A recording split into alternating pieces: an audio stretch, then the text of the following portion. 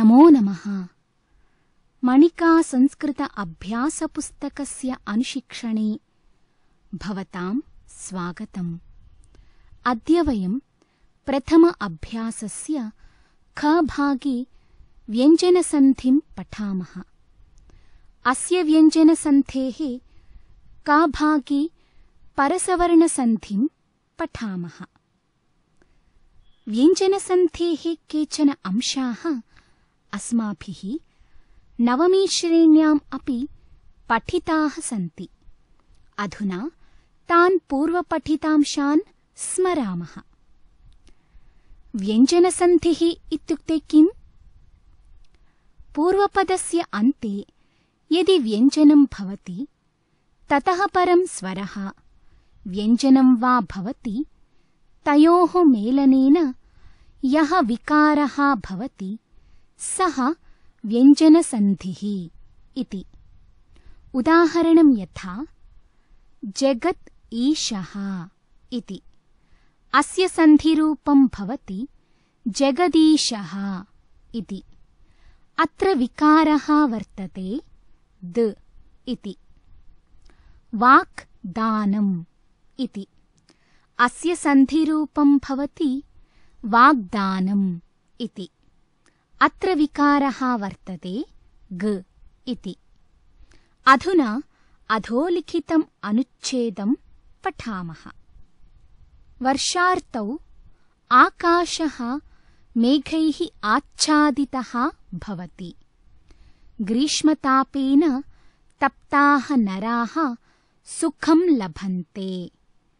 पवनः मन्दं मन्दं वहति वर्षाबिन्दवः भूमिं स्नापयन्ति। भूमिः उष्णं वाष्पं मुञ्चति। कृषकाणां मनः प्रसन्नं जायते। प्रकृतिः हरितं वेषं धारयति। अस्मिन् अनुच्छेदे हरिताक्षरैः केचन पदानि लिखितानि सन्ति।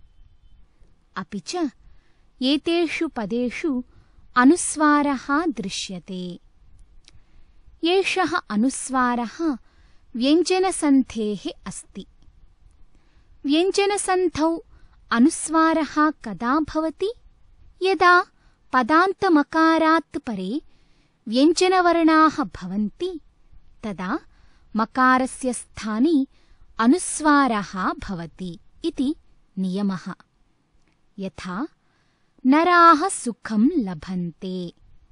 अत्र सुखम् इति पदस्य अन्तिमवर्णः म इति वर्तते। मकारात् परे ल इति व्यञ्जनवर्णः अस्ति। अतः मकारस्य स्थाने अनुस्वारः भवति।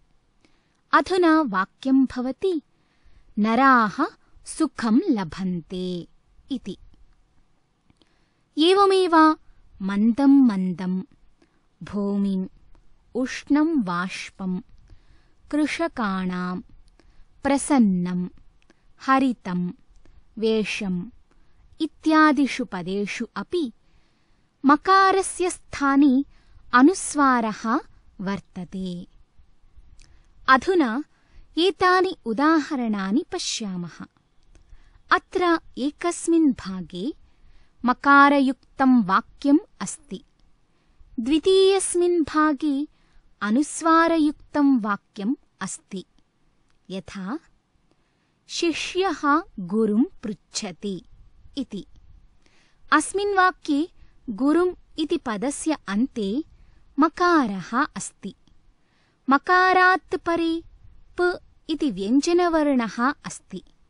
अतः मकारस्य स्थाने अनुस्वारः भवति।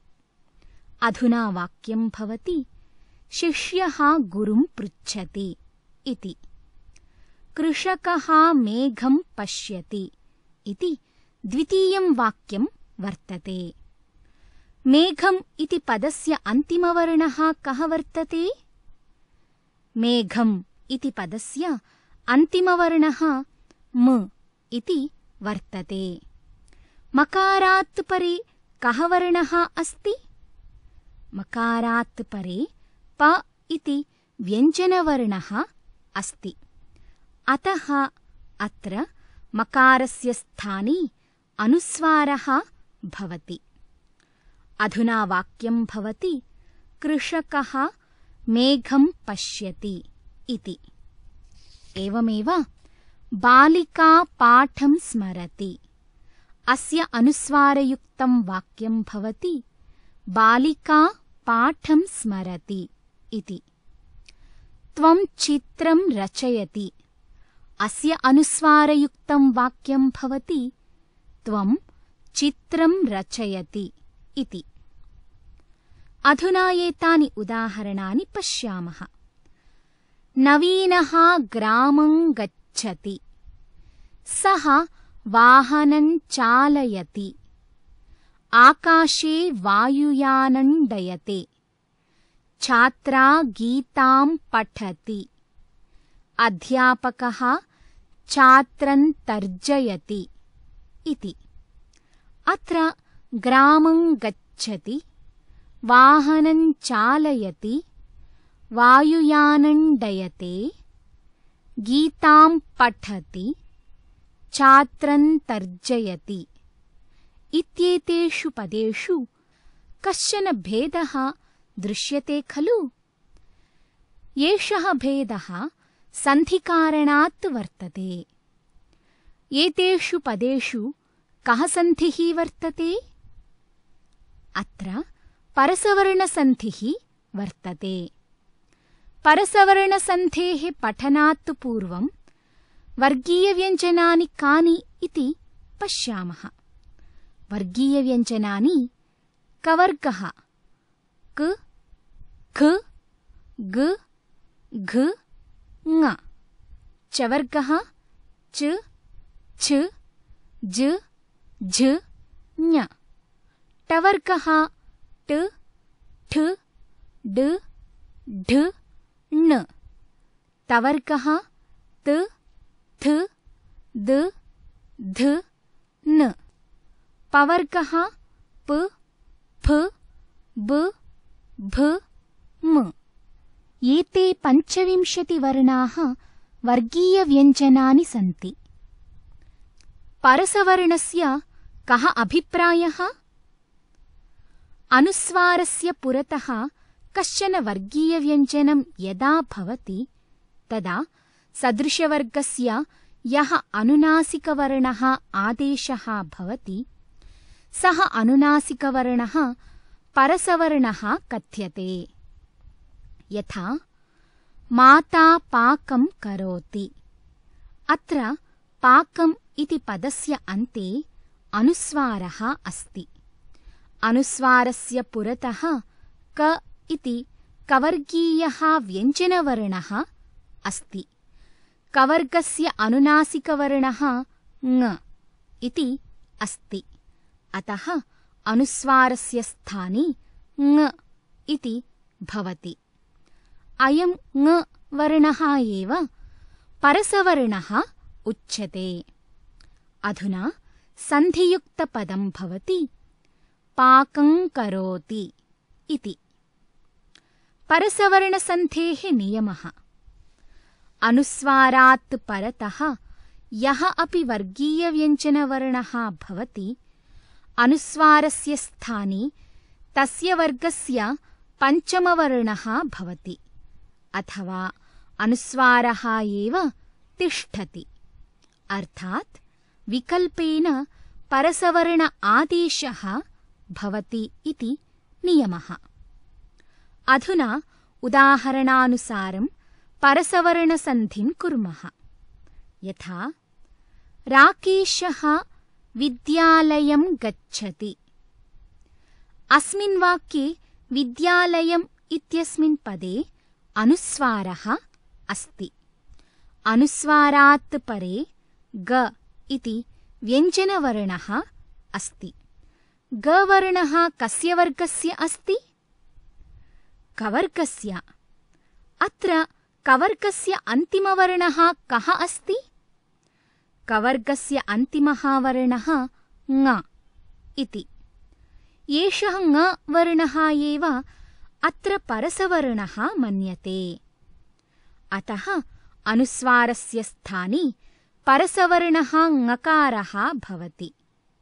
अधुना सन्धियुक्तपदं भवति विद्यालयं गच्छति इति भारत्याः कोशः सञ्चयात् नश्यति इति प्रथमम् उदाहरणं वर्तते। सञ्चयात् इत्यस्मिन् पदे अनुस्वारः वर्तते। अनुस्वारात् परे च इति चवर्गीयः व्यञ्जनवर्णः वर्तते। चवर्गस्य पञ्चमः वर्णः ञ इति वर्तते। अतः अनुस्वारस्य स्थाने परसवर्णं ञकारं लिखामः। अधुना सन्धियुक्तपदं भवति सञ्चयात् इति। अग्रिमम्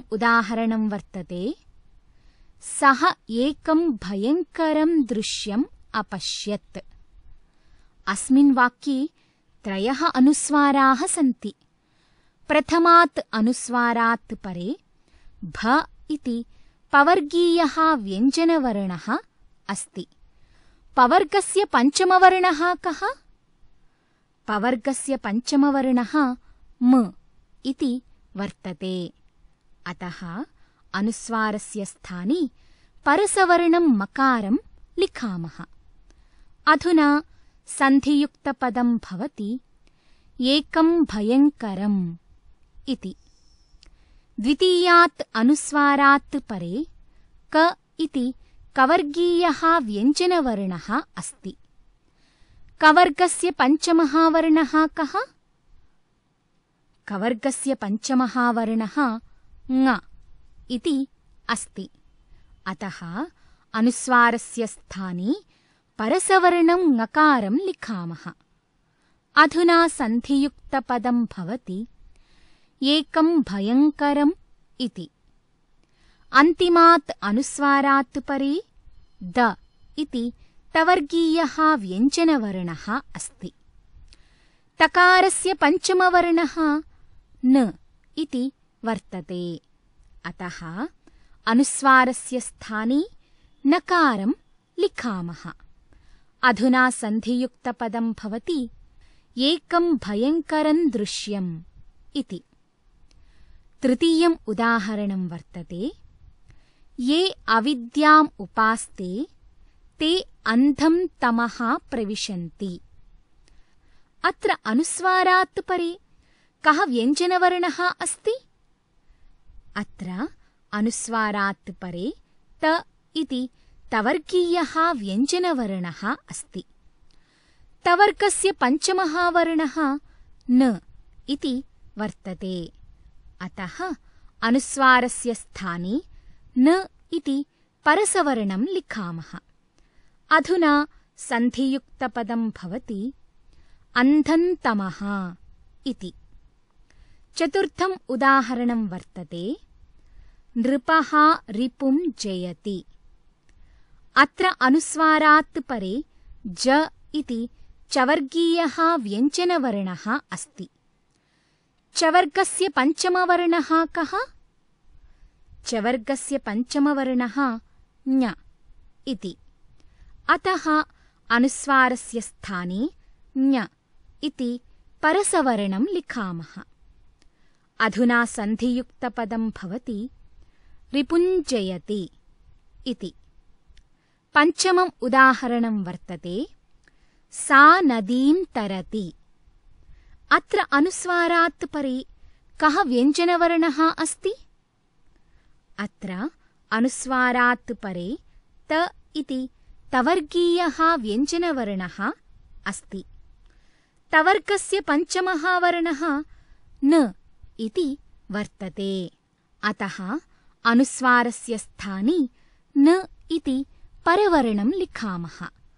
अधुना सन्धियुक्तपदं भवति नदीं तरति इति।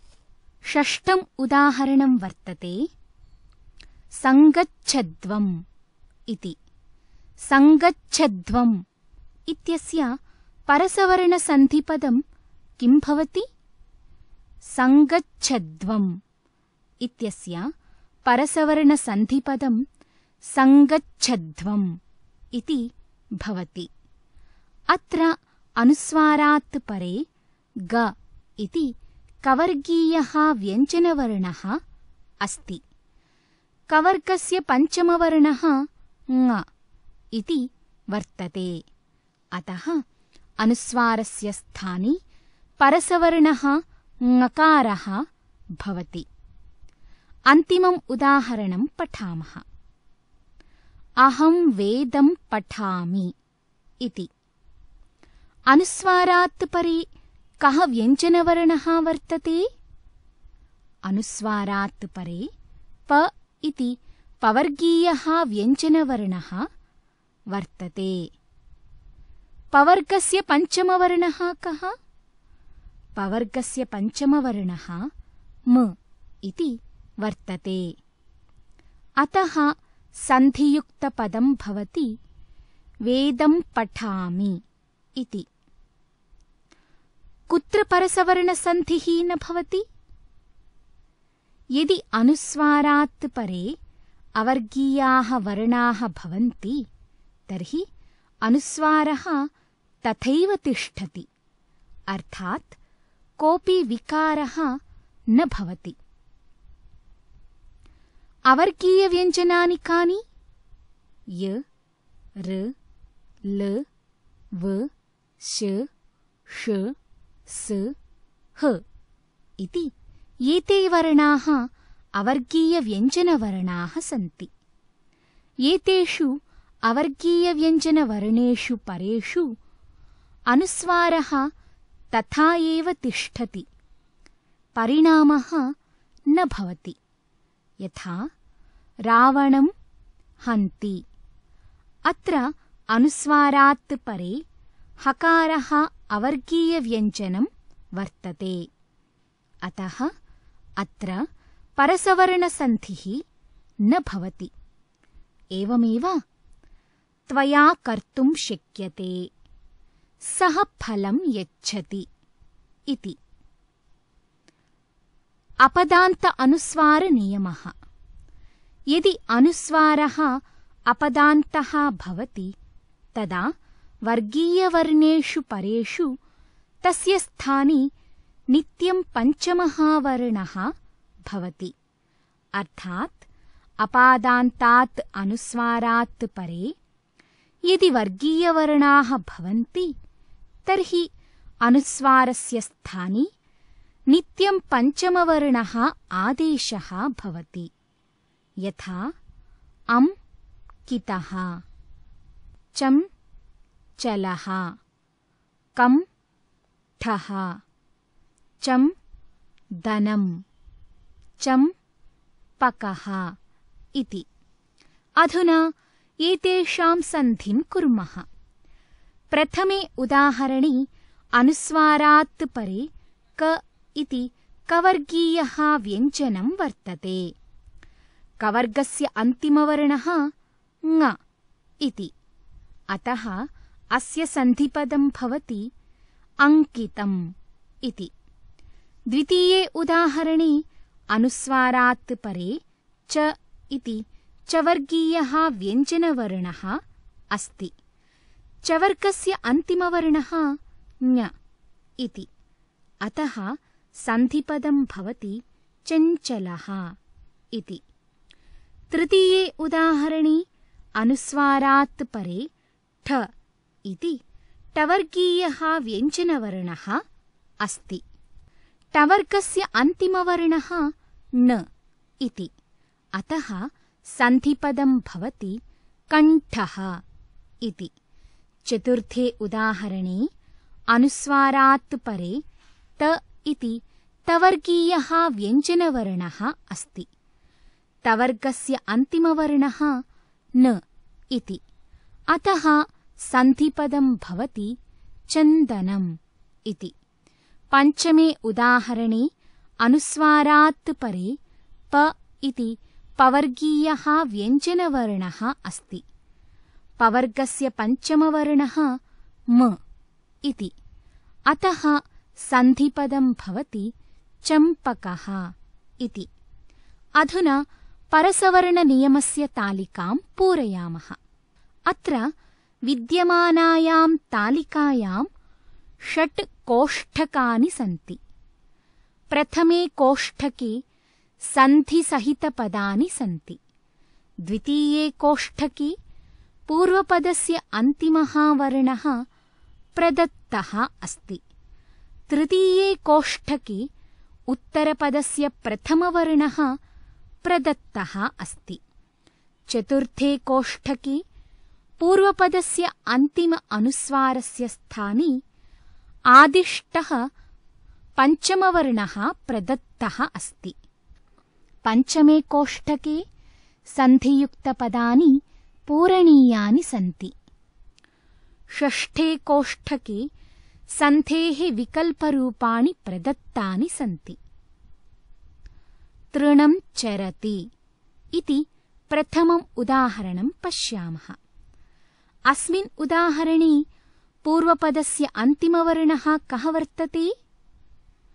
पूर्वपदस्य अन्तिमवर्णः अनुस्वारः अस्ति। अत्र पूर्वं मकारः आसीत्। सन्धिं कृत्वा मकारस्य स्थाने अनुस्वारः जातः अस्ति। एषा प्रक्रिया सर्वेषु पदेषु अस्ति। उत्तरपदस्य प्रथमः वर्णः कः उत्तरपदस्य प्रथमः वर्णः अस्ति चवर्गस्य च इति। चवर्गस्य पञ्चमवर्णः कः अस्ति? चवर्गस्य अन्तिमवर्णः ञ इति अस्ति। अतः अनुस्वारस्य स्थाने ञ इति परवर्णं लिखामः। अधुना सन्धियुक्तं पदं भवति तृणञ्चरति इति। विकल्परूपं किं भवति? तृणं चरति इत्येव भवति। पदान्ते परसवर्णः सर्वदा विकल्पेन एव भवति। अतः रूपद्वयं भवति। धनं ददाति इति द्वितीयम् उदाहरणं पश्यामः। अस्मिन् उदाहरणे पूर्वपदस्य अन्तिमवर्णः वर्तते अनुस्वारः इति।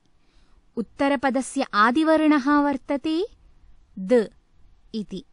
द इति वर्णः तवर्गस्य अस्ति। तवर्गस्य पञ्चमवर्णः कः? तवर्गस्य पञ्चमवर्णः न इति अस्ति। अतः अनुस्वारस्य स्थाने न इति परसवर्णं लिखामः। अधुना सन्धियुक्तं पदं भवति धनं ददाति इति। विकल्पेन अस्य रूपं धनं ददाति इति भवति। अलं करोति इति तृतीयम् उदाहरणं पश्यामः। अस्मिन् उदाहरणे पूर्वपदस्य अन्तिमवर्णः वर्तते अनुस्वारः। उत्तरपदस्य आदिवर्णः क इति वर्तते। क इति वर्णः कस्य वर्गस्य अस्ति? क इति वर्णः कवर्गस्य अस्ति।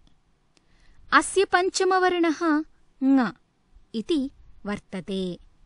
अतः अनुस्वारस्य स्थाने परसवर्णः ङ इति आदेशः भवति अधुना सन्धियुक्तं पदं भवति अलङ्करोति इति।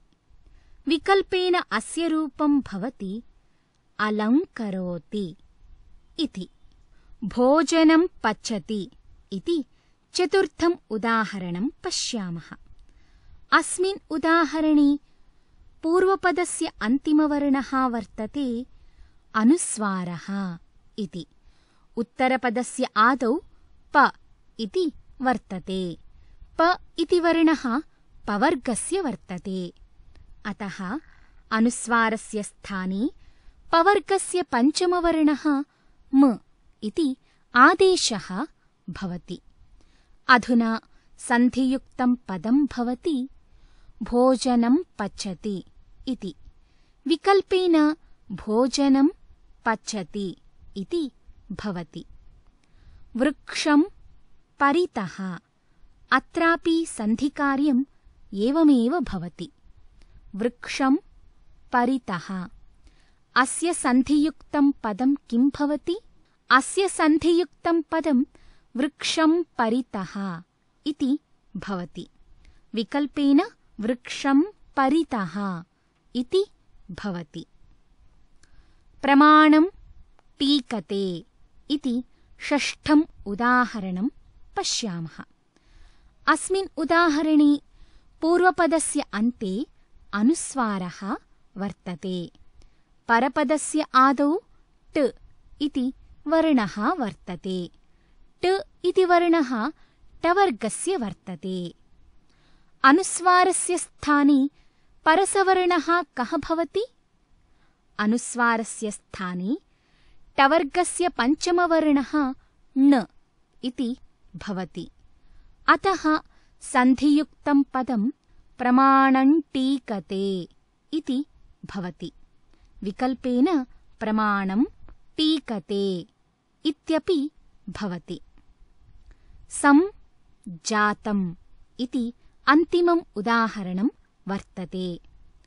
अस्मिन् उदाहरणे पूर्वपदस्य अन्ते अनुस्वारः वर्तते परपदस्य आदौ ज इति वर्णः वर्तते ज इति वर्णः चवर्गस्य अस्ति.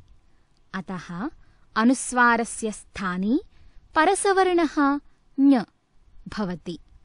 अधुना सन्धिरूपं भवति सञ्जातम् इति. विकल्पेन सञ्जातम् इति भवति अधुना द्वितीयां तालिकां पठामः। सन्धिच्छेदं कुर्मः। अत्र एका तालिका वर्तते। तालिकायां कतिचन पदानि दत्तानि। तेषां पदानाम् एकस्यां पङ्क्तौ सन्धिविच्छेदं कृत्वा लिखामः।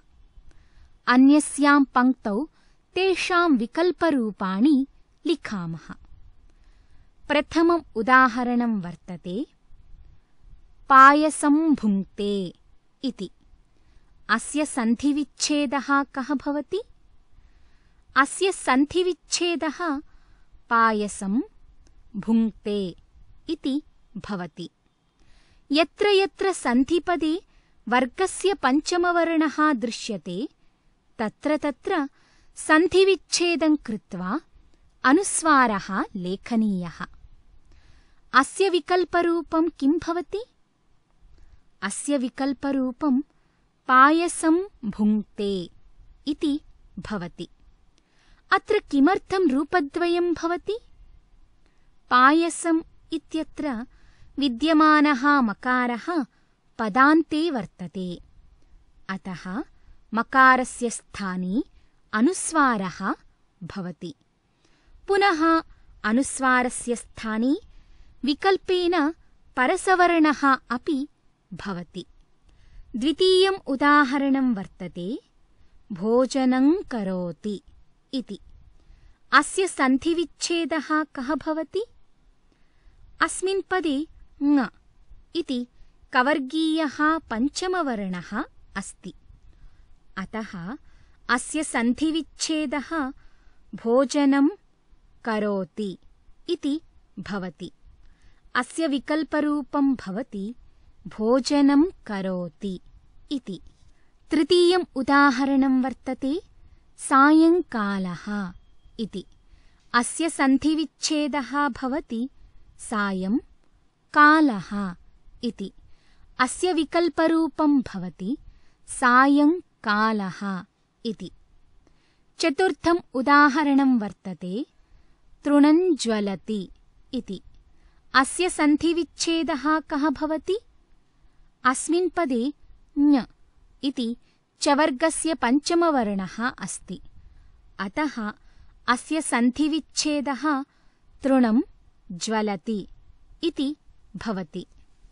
अस्य विकल्परूपं तृणं ज्वलति इति भवति। पञ्चमम् उदाहरणं वर्तते। विद्यान् धारयति इति अस्य सन्धिविच्छेदः कः भवति? अस्मिन् पदे न इति तवर्गस्य पञ्चमवर्णः अस्ति। अतः अस्य सन्धिविच्छेदः विद्यां धारयति इति। अस्य विकल्परूपं विद्यां धारयति इति भवति। षष्ठम् उदाहरणं वर्तते धनं ददाति इति अस्य सन्धिविच्छेदः कः भवति? अस्य सन्धिविच्छेदः धनं ददाति इति भवति। अस्य विकल्परूपं धनं ददाति इति भवति। अन्तिमम् उदाहरणं वर्तते शत्रुञ्जयति इति। अस्य सन्धिविच्छेदः कः भवति? अस्य सन्धिविच्छेदः भवति शत्रुं जयति इति अस्य विकल्परूपं भवति शत्रुं जयति इति अधः प्रदत्तसूक्तिषु हरिताक्षरपदानां सन्धिच्छेदं कुर्मः अधः काश्चन सूक्तयः सन्ति सूक्तिषु हरिताक्षरेषु विद्यमानानां पदानां सन्धिच्छेदं कुर्मः किङ्कुलेन विशालेन विद्याहीनेन जन्तुना इति प्रथमा सूक्तिः वर्तते अस्यां सूक्तौ किङ्कुलेन इति सन्धिपदम् अस्ति अस्मिन् पदे कवर्गस्य पञ्चमवर्णः ङ इति अस्ति अतः अस्य विच्छेदः किं कुलेन इति भवति यतोहि अनुस्वारस्य स्थाने पञ्चमवर्णः भवति एषः नियमः परसवर्णसन्धौ सर्वत्र भवति नैतदस्त्रं मनुष्येषु प्रयोक्तव्यं कथञ्चन इति द्वितीया सूक्तिः वर्तते अस्यां सूक्तौ सन्धियुक्तं पदं कथञ्चन इति अस्ति अस्य सन्धिविच्छेदः कः भवति अस्य सन्धिविच्छेदः कथं चन इति भवति। पापिनाञ्च सदा दुःखम् इति तृतीया सूक्तिः वर्तते। अस्यां सूक्तौ सन्धियुक्तं पदं वर्तते पापिनाञ्च इति। अस्य सन्धिविच्छेदः कः भवति? अस्य सन्धिविच्छेदः पापिनां च इति भवति विद्वत्त्वञ्च नृपत्वञ्च नैव तुल्यं कदाचन इति चतुर्थी सूक्तिः वर्तते अस्यां सूक्तौ विद्वत्त्वञ्च नृपत्वञ्च तुल्यं कदाचन इति त्रीणि सन्धियुक्तपदानि सन्ति विद्वत्त्वञ्च इत्यस्य सन्धिविच्छेदः कः विद्वत्त्वञ्च इत्यस्य सन्धिविच्छेदः विद्वत्त्वं च इति भवति। नृपत्वञ्च इत्यस्य सन्धिविच्छेदः कः? नृपत्वञ्च इत्यस्य सन्धिविच्छेदः नृपत्वं च इति भवति। तुल्यं कदाचन इत्यस्य सन्धिविच्छेदः कः? तुल्यं कदाचन इत्यस्य सन्धिविच्छेदः तुल्यं कदाचन इति भवति। अस्माभिः अधीतम्। यदा पदान्तमकारात् परे व्यञ्जनवर्णाः भवन्ति तदा मकारस्य स्थाने अनुस्वारः भवति। यथा अहं पाठं पठामि इति। यदा अनुस्वारात् परतः वर्गीयव्यञ्जनानि भवन्ति तदा अनुस्वारस्य स्थाने विकल्पेन तस्य वर्गस्य पञ्चमः वर्णः भवति। यथा राधा विद्यालयं गच्छति। राधा विद्यालयं गच्छति इति। यदा अनुस्वारः अपदान्तः भवति तदा वर्गीयवर्णेषु परेषु तस्य स्थाने नित्यं पञ्चमः वर्णः भवति। यथा शङ्का इति अनेन सह परसवर्णसन्धिः इति कभागः समाप्तः। अग्रिमे पाठे पुनः मिलामः। धन्यवादः